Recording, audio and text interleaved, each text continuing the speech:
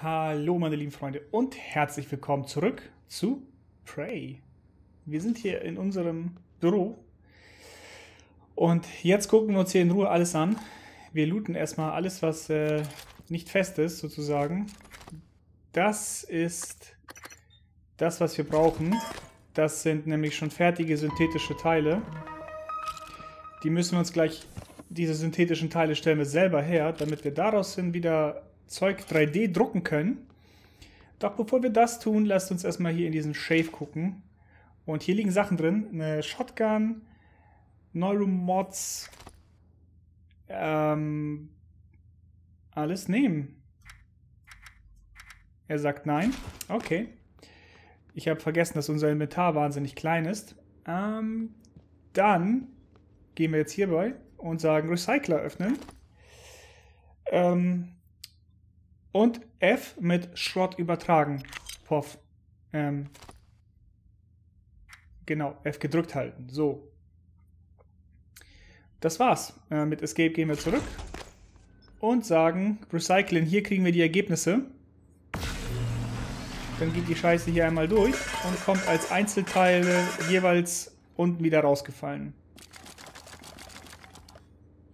Wunderbar. So, dann müssen wir jetzt hier drin mal ein bisschen sortieren. Das ist jetzt wieder so ein bisschen Resident Evil 4, was mir immer sehr gut gefallen hat. Ähm ich tue mal die Waffen tun. Stimmt, wir haben die Knifte zweimal, weil wir sie gefunden haben.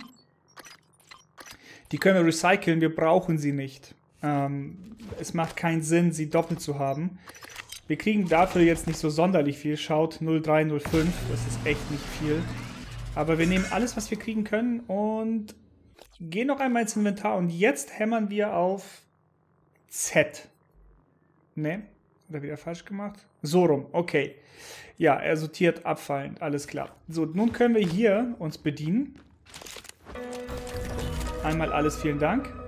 Das ist diese Shotgun, von der geredet wird. Ähm, die Pre, was auch immer. Äh, ich habe nichts pre-ordered, aber das ist das, was ich gekriegt habe. Die goldene Shotgun eben. Ähm, spezialisierter Schild, durch den du immun gegen Recyclerladungen bist. Was auch immer. Ich bin gerade ein bisschen überfragt, was das sein soll, um ehrlich zu sein. Gib mir den Apple. Und dann gehen wir hierbei und da ist ein Glue-Kanonen-Munitionsfabrikationsplan. Äußerst nützlich, äußerst praktisch. Ähm, damit können wir nämlich jetzt Munition für die Glue-Knifte bauen. Mich überrascht es ein wenig, dass ich da drin eine Sache nicht gefunden habe in diesem Schrank. Aber so ist das Leben. Wir nehmen hier nicht alles auseinander, sondern ähm, ich habe es immer ganz gern, dieses Büro heil zu lassen. Irgendwie mag ich es. Später kehre ich auch regelmäßig hierher zurück und lege ab und zu Sachen weg. Hier kann man sich einen Operator bauen. Hm, ich weiß aber noch nicht welchen und ich glaube, wir können auch nicht, weil das Strom aus ist. Wir müssen erstmal den Strom einschalten. Zeig mal, was du bauen kannst. Ähm, Glukanon, Schrotpatronen und eine Rohrzange. Ja, ich sag mal, da ist noch auf jeden Fall Luft nach oben. Gehen wir mal ganz kurz ins Inventar. Du hast schon die vier, das ist wirklich fantastisch. Dann Z, Z, Z, Z, Z, so rum.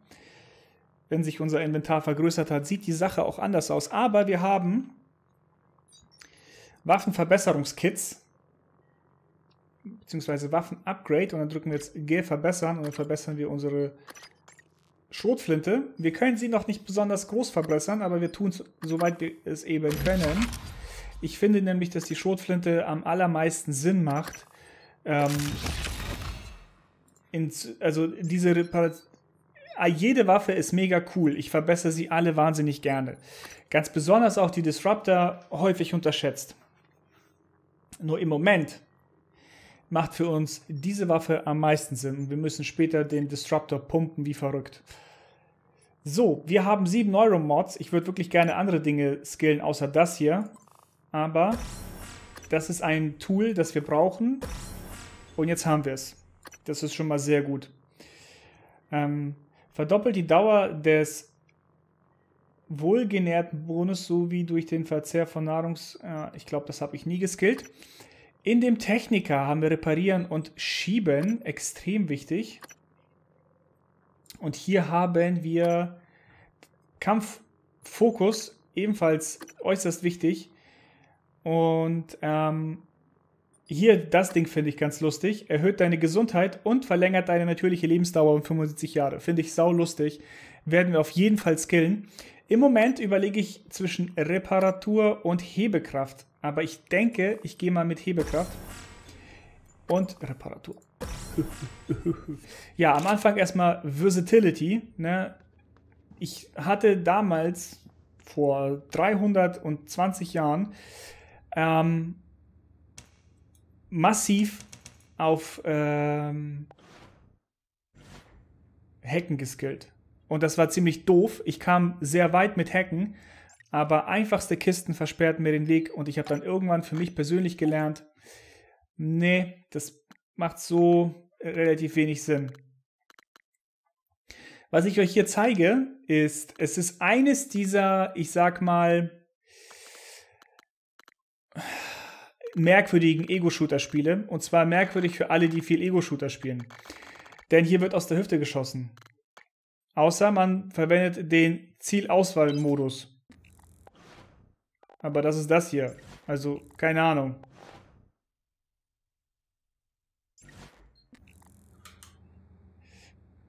Ich konfiguriere das um. Also grundsätzlich ist das Spiel dazu gedacht, um sehr viel mit Maus zu spielen. Aber Maustaste 2, Psi-Fähigkeiten. Wir werden, hier kleiner Spoiler, diese selten benutzen. Und dann können wir uns das hier, hier drauf tun. Ja, es ist, es ist tatsächlich so, dass man ähm, ich war mir ziemlich sicher, dass ich damals trotzdem gezielt habe.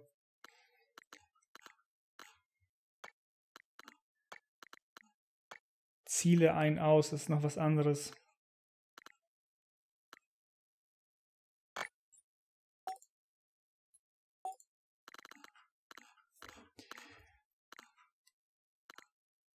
Scannbares Ziel anvisieren ist auch noch was anderes.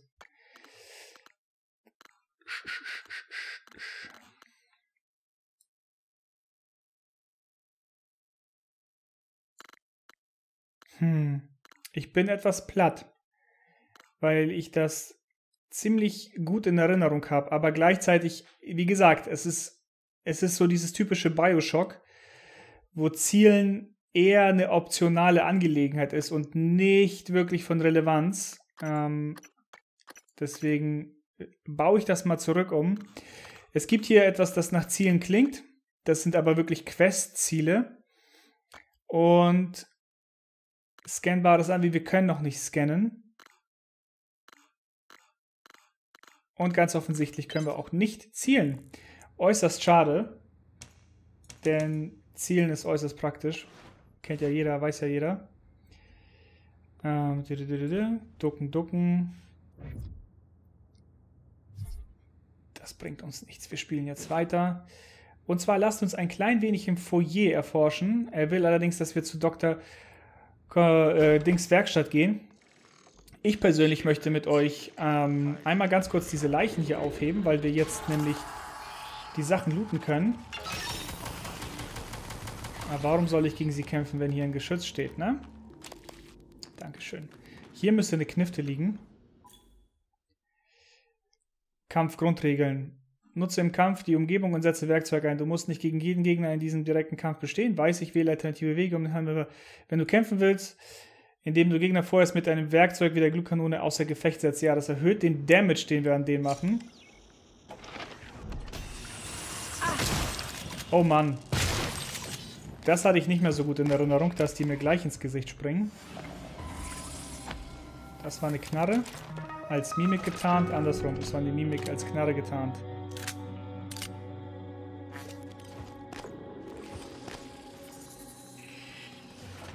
Ja, ich versuche gerade zu verstehen, was diese Mimik hier macht. weil sie da unter dem Tisch von mir nicht angegriffen werden kann, aber sie kann...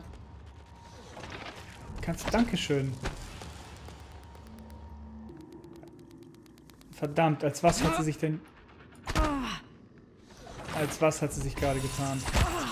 Als Leiche. Fantastisch. Dankeschön dafür, Mimik.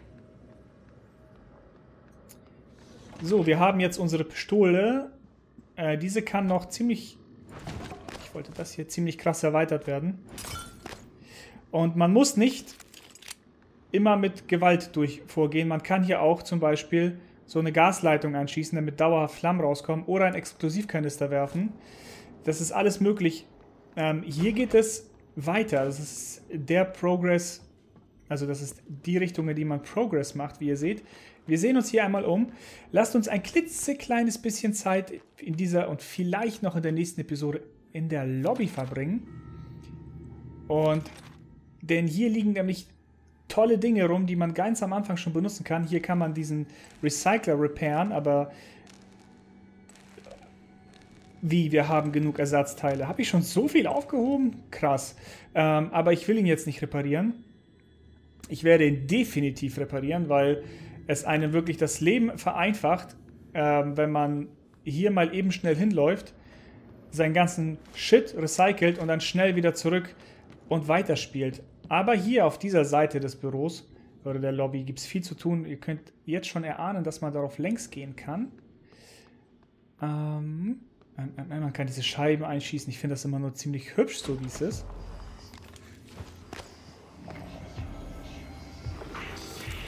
Ich wollte gerade sagen, bescheuerte Standard-Mimics will ich kaputt hauen und zack, Phantom.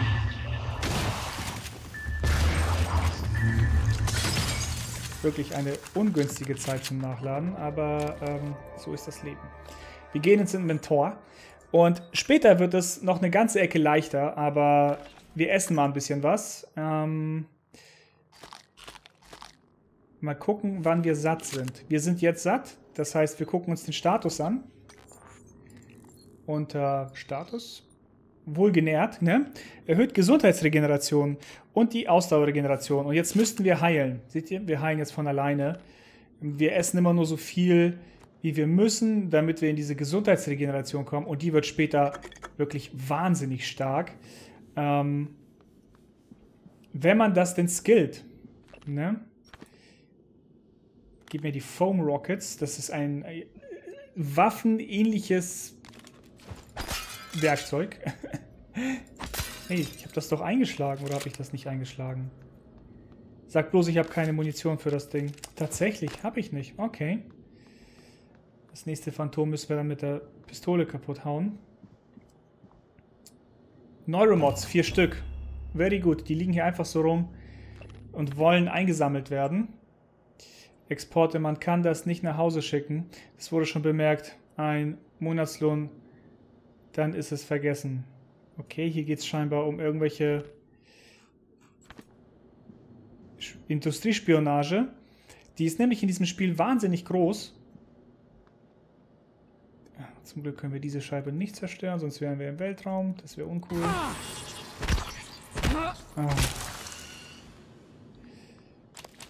Gib das her. Es macht total Sinn, diesen Necro-Mod zu skillen. Da ist sie das Schaumstoffgewehr. Ähm, das ist so eine Art Nerfgun, die ballern sich ja ab im Office damit. Der Jägerin Bolzenwerfer verschießt Schaumbolzen, die keinen Schaden verursachen. Er ist aber genial, um Kollegen zu nerven. Und später noch für viele tolle Dinge. Anleitung zur Installation von Neuromods kennen wir schon, brauchen wir nicht. Ähm, Duck Ihr wundert euch, ich gucke immer unter die Schreibtische, weil ich aus Erinnerung weiß, dass da ganz tolle Dinge liegen können. Und ach so, wir haben ja Hebelkraft, deswegen, wenn wir werfen, haben wir so eine Schallwand, Luftverdrängungsangelegenheit, weil wir jetzt einfach ein bisschen stärker sind. So. Wir haben nicht den passenden Sicherheitsschlüssel und wir haben auch nicht den Code. Das heißt, an dieser Stelle kommen wir erstmal nicht weiter, es sei denn, wir finden einen Lüftungsschacht, der uns dann irgendwo hinbringt, wo wir hinwollen. Dahinter scheint keiner zu sein. Manchmal ist das auch sehr sinnvoll zu gucken, ist dahinter noch irgendwie ein Weg, ähm, dass man dann weiß oder dass man eher etwas skillt, weil man dann an dieser Stelle weitermachen kann, wenn man eine große, schwere Kiste verschoben hat. Doch ich sehe jetzt hier gerade nichts mehr. Wir werden hierher wieder zurückkehren natürlich. Ähm, aber nichtsdestotrotz, ein Abstecher hierhin hat sich schon gelohnt. Jetzt schon. Wir haben vier Neuromods eingesammelt. Ähm, damit kann man schon einiges äh, anstellen. Ich muss mal eben schauen, ein letztes Mal noch in die Optionsmenüs. Und dort schauen wir mal unter Steuerung. Und zwar ist hier vieles für mich auch Trial and Error nach wie vor. Und ich suche gerade etwas, das ich nicht gefunden habe.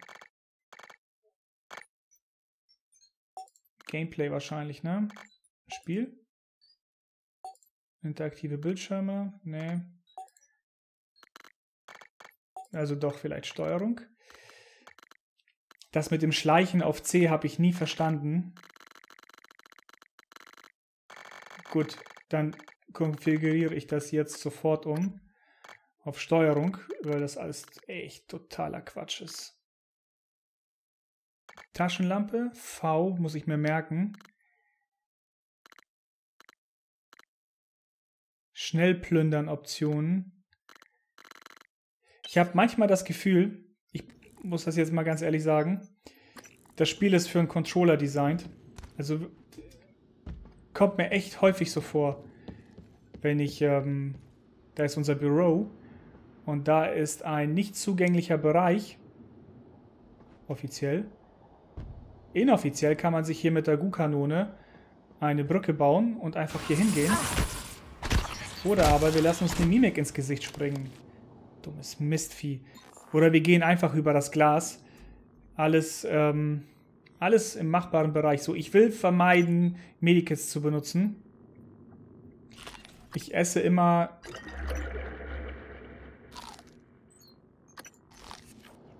Ach so, wir haben uns betrunken. Aber das macht nichts. Was wäre denn das Leben, wenn man dauernüchtern ist? Es wäre langweilig. Stuff Blanche. Yes, yes. Und das, obwohl ich schon zugeschlagen habe, hat sie mich trotzdem noch erwischt. So, der, der noch. Das war ein Critical Hit. Danke. Liegt hier was drin? Manchmal liegen da Sachen drin. Äh, die kriegt man ja eh mit, wenn man was verwandelt, weil dann hebt man das automatisch mit auf. Aber wenn man gerade nichts verwandeln will, ähm, hier Bananenschalen nehmen wir mit. Coffee, ganz viel, bin ein riesen Kaffee-Fan hier in diesem Spiel. Oh, das nehmen wir auch mit. Octavia Finks. Bist du unterwegs? Unterwegs wohin? Octavia, es hat einen Alarm gegeben. Wir müssen uns sammeln. Wie schön, dass du dir Sorgen machst. Aber es hat schon früher Alarme gegeben und ich muss bis zum Ende meiner Schicht noch drei von diesen tollen Staubsaugern reparieren. Oh, jetzt sind es vier. Gerade wurde noch einer gebracht. Diese Dinger sind der reinste Schrott. Ich glaube, ja. das ist keine Übung, Octavia. Ich schicke dir den Code. Bitte, komm sofort zu den Fluchtkapseln. Jetzt haben wir den Code. Das Spiel hat sich das jetzt schon gemerkt, dass wir den haben. Wenn wir das nächste Mal an einer Flucht oder an der Fluchtkapsel stehen, wird uns der Code einfach eingeblendet. Ah, das nervt. So, wie machen wir das Inventar größer? Zerlegen, super nützlich, aber nicht jetzt. Auszugsmodifikation verbessert deine Transstar-Uniform durch erweiterte Inventarplatz und erlaubt die Installation von zwei zusätzlichen Chipsesseln. Ah, dankeschön. So ein kleines Inventar kann einem nämlich ganz schön auf den Sack gehen. Wir sortieren noch einmal durch. Das ist eher sowas für mich. Danke, Föhn. Ja, so sieht das besser aus. Keine weiteren Mimex. Na doch.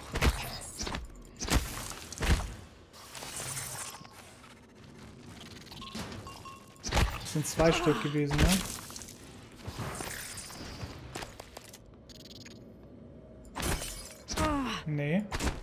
Auch nicht.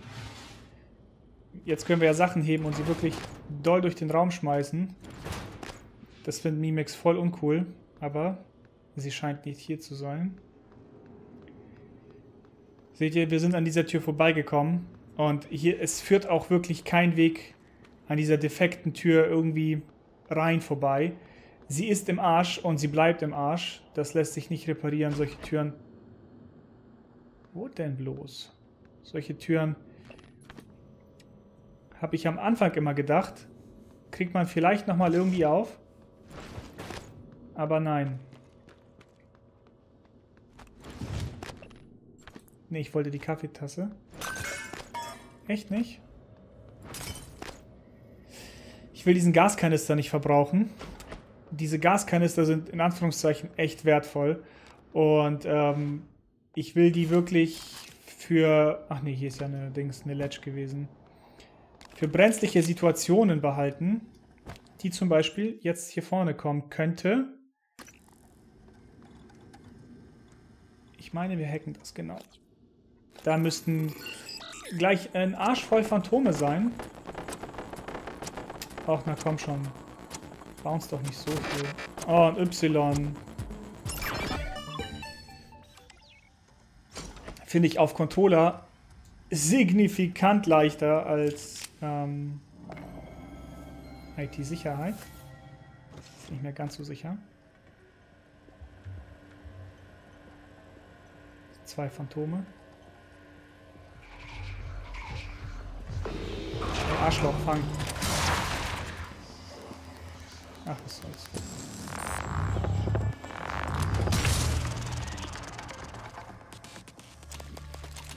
Dankeschön. Wir gucken mal, was das ist. Nullwellentransmitter. Der in der Physiotronik entwickelte Nullwellentransmitter strahlt einen Signalstoß aus, der kurzzeitig die Psi-Fähigkeiten desjenigen unterdrückt, der sich im Strahlenweg befindet. Hört sich praktisch an. Ist es wahrscheinlich auch. Hm. Schlüsselkarte für Sicherheitsbüro. Da gehen wir jetzt direkt hin. Da liegen nämlich massenweise gute Sachen rum. Nice, Neuromods. Upsala. Welche Taste war das? Da will ich nicht nochmal gegenkommen. Phantome haben häufig guten Loot. Das ist ja eher ungewöhnlich weil das sind ja Mimikwesen, dass die jetzt Loot haben, das lässt sich nicht hacken. IT Lagerschrank. Äh, ich meine aber, da kommen wir auf jeden Fall rein. Nicht questbedingt, sondern weil wir hierher wieder zurückkommen. Wir haben uns jetzt nämlich gemerkt, dass der IT-Lagerschrank noch ungeplündert ist. Ich meine auch, dass die Minimap uns das gleiche erzählt. Hebekraft 3, hm, lassen wir mal stehen. Ja, die nehme ich mit, dann muss ich keine Scheiben für einschlagen. Sales Division. Und Maintenance.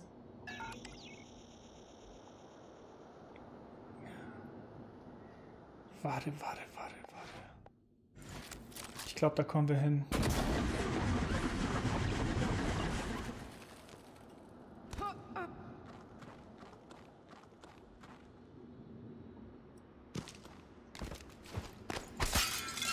Dankeschön. Jetzt habe ich die Scheibe auch schon eingeschlagen. Also kann ich das auch hier machen. Hallo?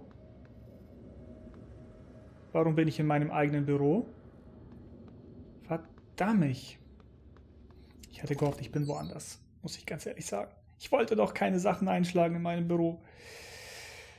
Ähm, Schrott übertragen, F. Den hat Knopf habe ich gesucht und nicht gefunden. Einmal klein machen, bitte. Du da. Ähm, Schrotpatronen. Ja, hätte ich gerne einmal zu mitnehmen. Auch wenn wir jetzt ins Sicherheitsbüro gehen, ähm, ich will das einmal wirklich aufgeladen haben. Dankeschön.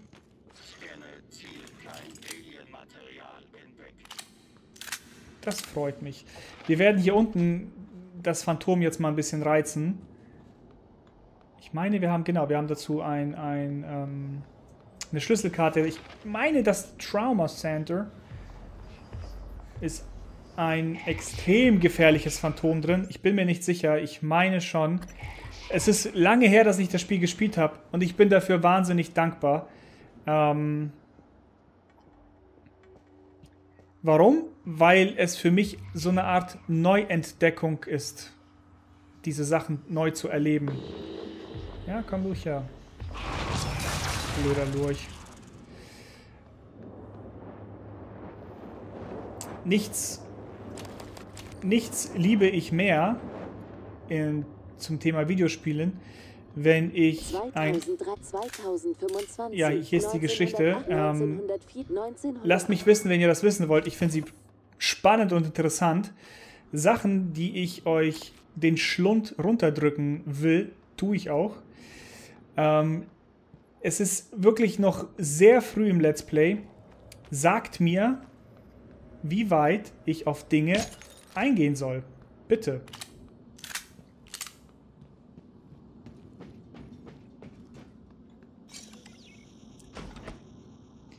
So, wir haben ja Sicherheitsbüro Zugangskarte gekriegt. Und hier sind keine Waffen mehr. Dreck. Ein Apfel. Ein Baseballhandschuh ein Charakterbogen, Fatal Fortress, Hauptmann Alkin, Stable Follow. Natürlich, diese Raumstation ist von Nerds besiedelt. Nerds, die miteinander flirten und auch Pen and Paper spielen. Das erinnert extrem an eine Mischung zwischen Dungeons and Dragons und ähm, dem schwarzen Auge. Ist aber natürlich etwas selbstentdecktes. So, da haben wir ein Waffen-Upgrade-Kit. Und irgendwie sagt mir mein Gefühl, dass in diesem Büro mächtig die Kacke abging. Im Sinne von Dankeschön für die Schrotflinte. Wir haben natürlich eins durch unseren ähm, Pre-Order-Bonus, nenne ich das jetzt mal. Weshalb wir diese Schrotflinte zerlegen werden. Und ihr werdet, wenn nicht schon festgestellt, feststellen, es gibt wahnsinnig wenig ähm, Geld dafür. Ups.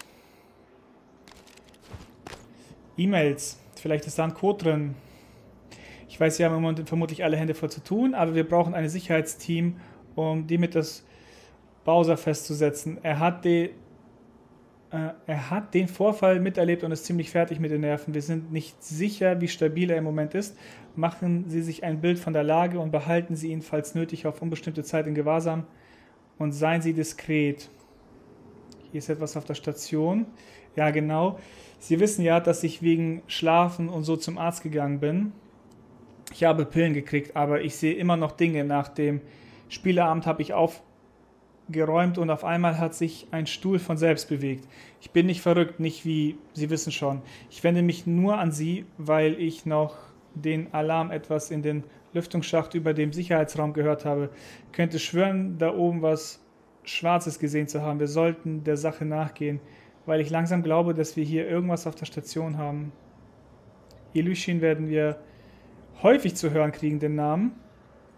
Bitte stellen Sie auch mit Kyla Ilushin unter Beobachtung. Im Moment erledigt sie zwar ihre Arbeit, aber ihr Zustand stellt ein potenzielles Risiko dar und wir brauchen vielleicht ein Druckmittel. Das ist von Alex geschickt. Ja. Begrenzen Sie Ihren Zugriff auf Arbeits- und äh, Besatzungs- Einrichtungen, lassen Sie sie bitte nicht in der Nähe der Labore und verfolgen Sie jegliche Kommunikation zwischen ihr und Dr. Gallegos außerhalb der Physitronik.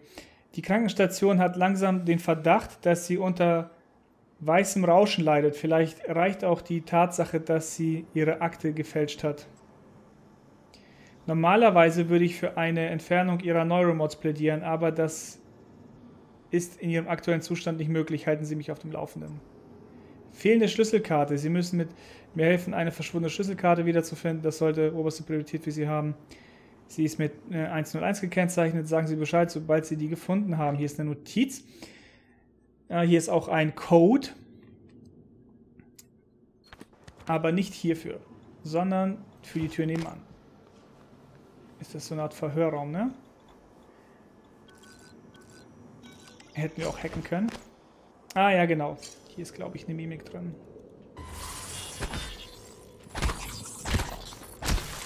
Er hat sich also auf eine Mimik gesetzt. Fantastisch. Es wird ja wohl kaum so sein, dass die Mimik sich diese Leiche unter den Arsch geschoben hat, um als perfekte Mimik durchzugehen. Wie, wo, wo? Der hat ja gar keine Beinfreiheit hier, oder was? Was zur Hölle ist das für ein komischer Raum? Diese Decken sind auch immer hochgradig verdächtig. Weil sie ähm, verdeckt sind, seht ihr? Dahinter könnte alles mögliche an Schätzen liegen. Man müsste nur mal nachgucken.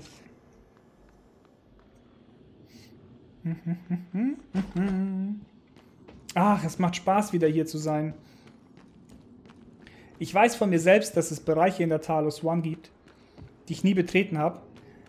Ähm, ich bin dann immer nur so an ihnen in Anführungszeichen oh, vorbeigeloft. Hey, Geschütz, was ist los mit dir? Verdammt, wieso ist das kaputt?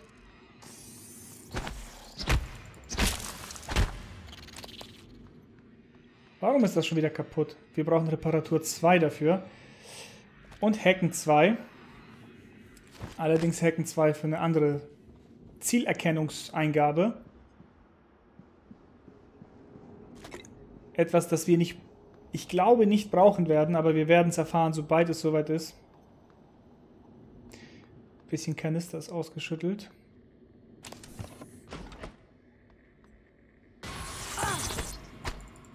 Ich habe dich schon gesehen, aber ich war nicht. Ich war nicht schnell genug.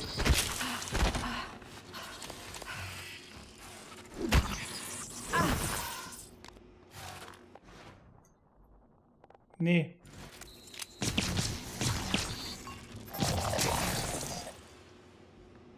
Mit irgendeiner Scheiße hat uns die Mimik angesteckt, weshalb wir so extrem langsam geworden sind. Hat sich das jetzt erledigt? Haben wir jetzt alle? Auch alle gelootet. Wichtig, ich brauche deren Innereien. Ups, das wollte ich nicht. Welcher dieser blöden Knöpfe ist das, dass er mir ständig dieses Dings da aufmacht? Das nervt.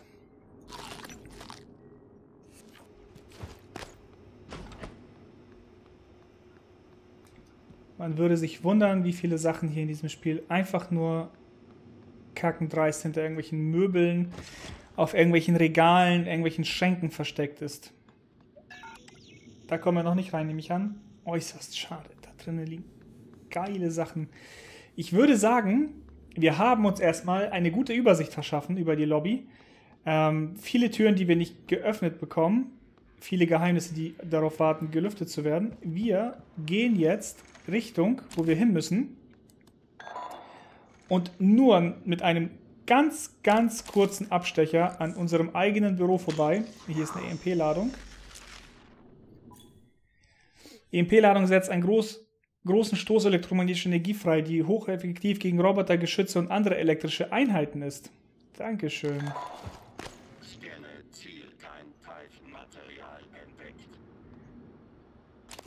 Das nehmen wir mit.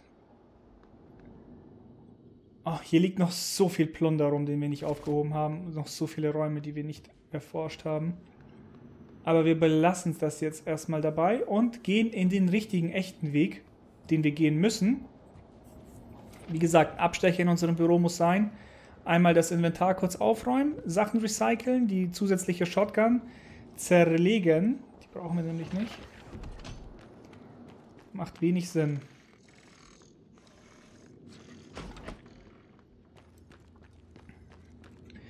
Und dann versuchen wir, einen Weg zu finden, diese Hollowwand zu reparieren, um uns die letzten beiden Worte oder Sätze, die uns noch fehlen, noch mitzuerleben. Von denen Alex verboten hat, sie uns zu hören. Hier ist nichts Besonderes. Geschafft, Ende der Nachricht. Von January an mich selbst, okay. Fragezeichen. Von Michaela Iloshin und unterzeichnet mit Mika, ganz casual.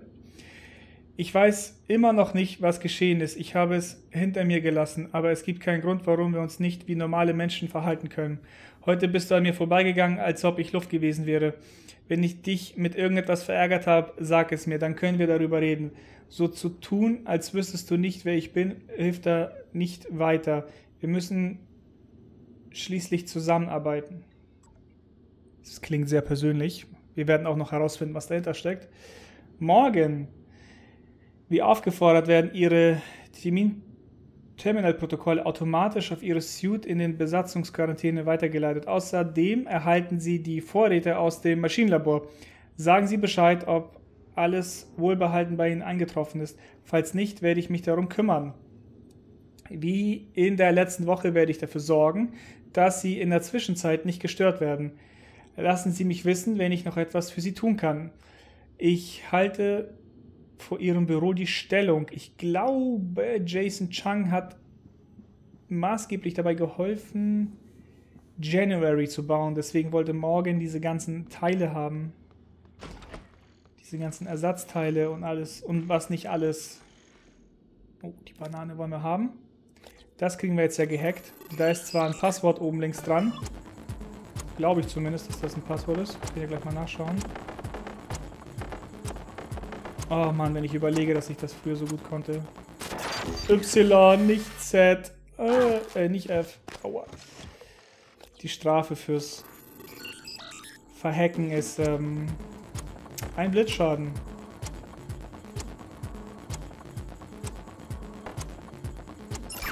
Ich finde es viel intuitiver, das auf dem Controller zu haben. Es ist wirklich ein krasser Unterschied. Ja. Oh mein Gott, Hot Boss. Ich weiß. Ich weiß. Gut geändert. Die Kerle von der Wartung haben das Keypad von meinem Büro vermurkst. Habe es auf 0451 zurücksetzen lassen. Ich bin eine Weile im Sim-Laboren. Falls Sie also was brauchen, bedienen Sie sich einfach. Das ist eine E-Mail von mir an Chang, der mich super hot findet.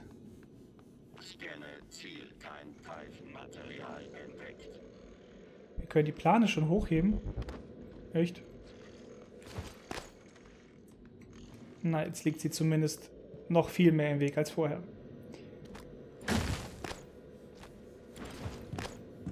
Ist hier noch irgendetwas Interessantes? Das haben wir schon gelesen. Lass mich hier mal schauen. Ja, Ressourcen. Besonders auf den höheren Schwierigkeitsgraden. Dieses Spiel macht einen affenmäßigen Spaß auf einem knackschweren Schwierigkeitsgrad. Ich, ich weiß, ich spiele jetzt hier gerade auf Kindergeburtstag mehr oder weniger, auf normal. Aber glaubt mir, wenn ich euch sage, es macht mordsmäßig viel Spaß. Wir hören hier an dieser Stelle auf. Nächste Episode Bianca Goodwin und wir setzen die Hauptquest fort. Für eine ganze Weile. Und ab dort kriegen wir wieder viele, viele neue Fähigkeiten und starten dann wieder, ich nenne es mal den Exploration Cycle. Ähm, ich denke, wir sollten ein kleines bisschen zurückkehren an unsere, unser gefaktes Schlafzimmer, weil wir ja den Passcode letzte Episode gesehen haben aus diesem Hologrammfenster das zumindest mal öffnen, auch wenn es dort Dinge gibt, die wir noch nicht geöffnet bekommen. Das, das ist wirklich eine Überlegung wert, ob man das macht.